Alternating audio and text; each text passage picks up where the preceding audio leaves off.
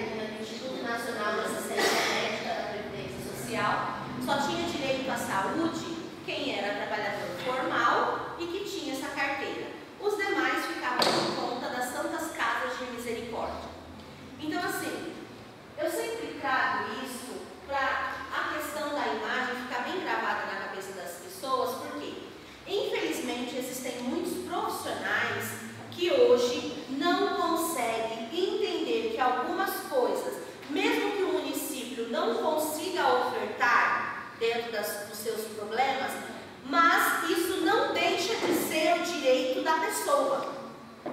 Ela tem direito ao acesso à saúde e saúde de qualidade. E aí nós vamos focar hoje somente no idoso. Pode passar. Vamos melhorar aqui. Tá. Gente, e aí eu vou jogando aqui os temas, não precisa responder, mas eu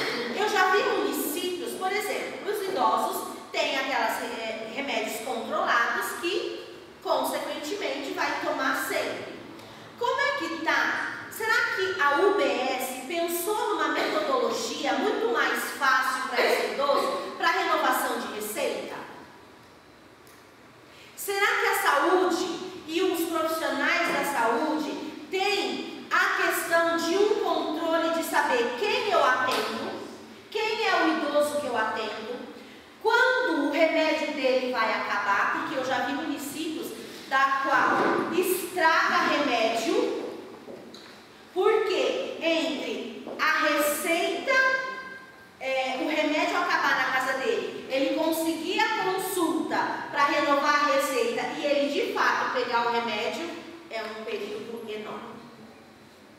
Então, Jandaia precisa pensar nesse, nesse quesito. Ah, Como estamos?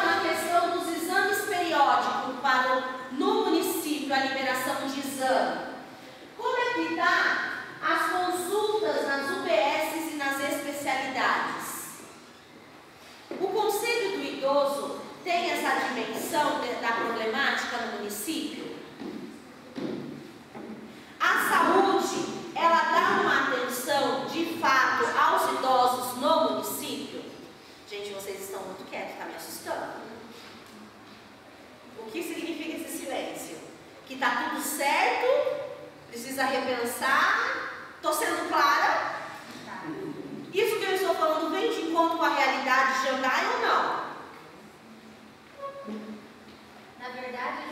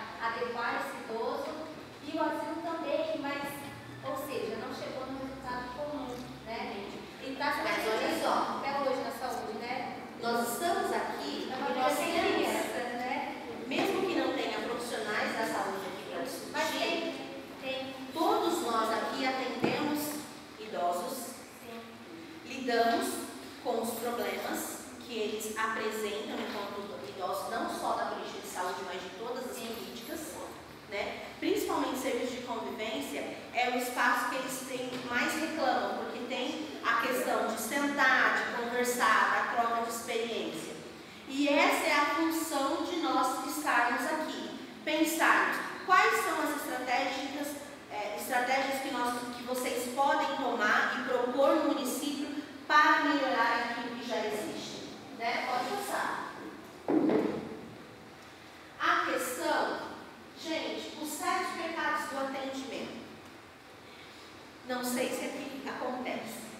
é um problema não só da saúde. Será que os profissionais que atendem em todas as políticas precisam de capacitação sobre qualidade do atendimento? Gente, e principalmente na saúde, na assistência